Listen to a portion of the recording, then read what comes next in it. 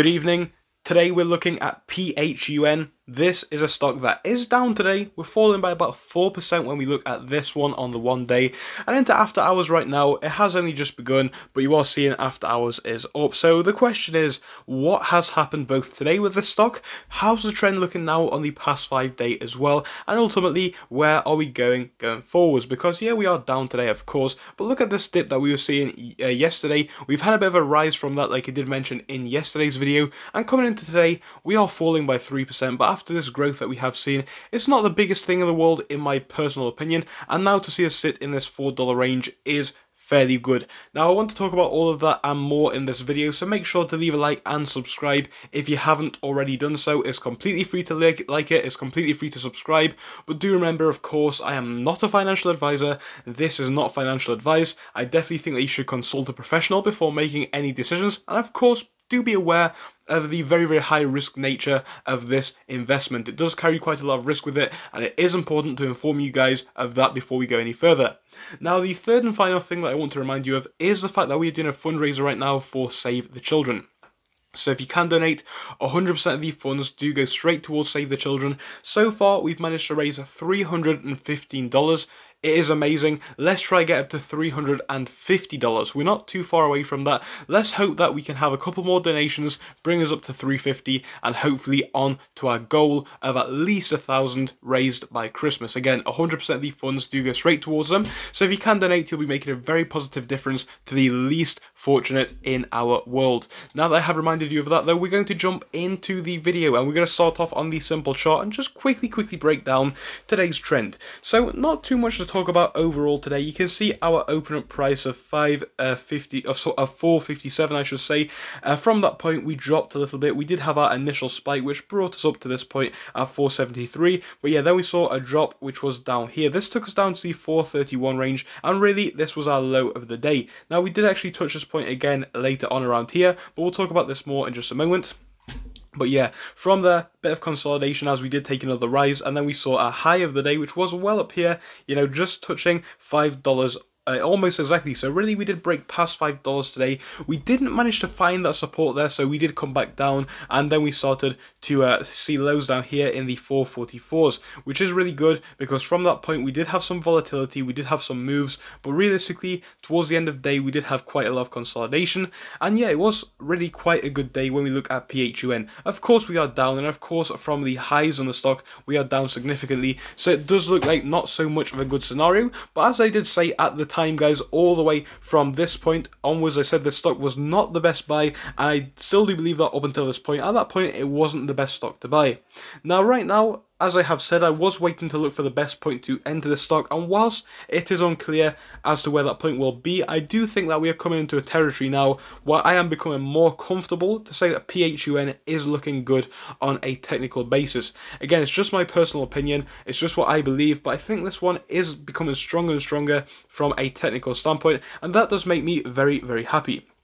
So now let's have a breakdown of the technical indicators and just a quick read of those over the past day. So when we have a quick look at them, we can see we are not too far off them. What I'm going to do first though is remove the Bollinger Bands and you can see now our moving average. So the one day moving average is on 444.84 just a little bit higher than where we are, and that is because we had that little dip towards the very end of day. Now, the dip itself, not too big of a deal in my opinion, because do bear in mind, uh, people could have potentially swing traded this one uh, from the lows of yesterday, and they could have been taking profit towards the end of today's session, and I think that definitely could have accounted for the small drop. But either way, it's not too big of a deal anyway, and I think, you know, it's not something that we should play too much importance into. However, it certainly has affected a few of our indicators. Uh, another one which it has affected is going to be our RSI figure. That's this line down here.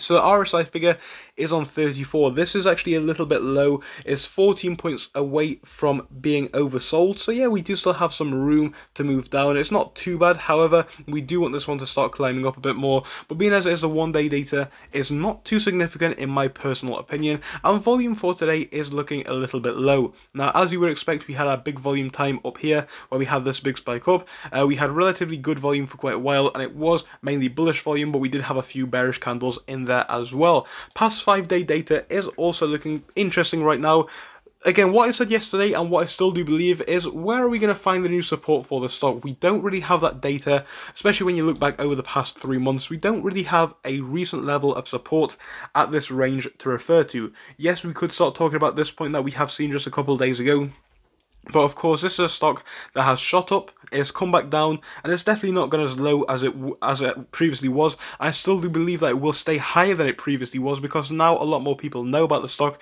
and a lot more people are holding the stock. So I do believe that the new level of support is going to be higher. But what we're trying to establish into the next week or so, are we going to find this as our bottom? Is this going to be our new level of support in the uh, high $3 range slash the low $4 range? Is that where we're going to find support from now on? Or are we going to potentially see pushes lower? Again, I would love to see us see some support at that 390 range and upwards, but again, the next few days will tell us that for sure and show us where the trend is going. But coming back to the 5 day chart, one thing that you'll see on this time period is that we're set an RSI figure of 42, which is fairly good because this is only 8 points away from neutral.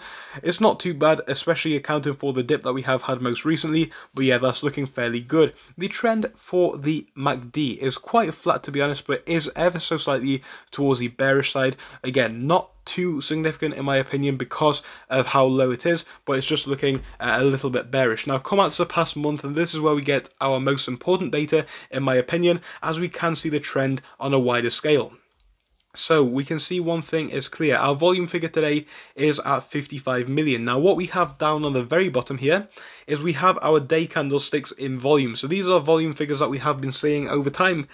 And you will see that our highest volume, as you may expect, was on this day where we had a big spike up to $20 plus. But apart from that, we have seen high volume, you know, both here, here as well. But over time, volume has been decreasing. Now yesterday we saw very very high volume as well. It was nowhere near as high as what we have seen previously back here, but we did definitely see relatively good volume compared to our low days. And again the question which I was asking is will volume stay back into the stock and will we see volume go back up again tomorrow? And of course today is what tomorrow was in that video and the volume has actually gone down which is not what we like to see because volume is ultimately going to be a driver of price in my opinion when it comes to this stock.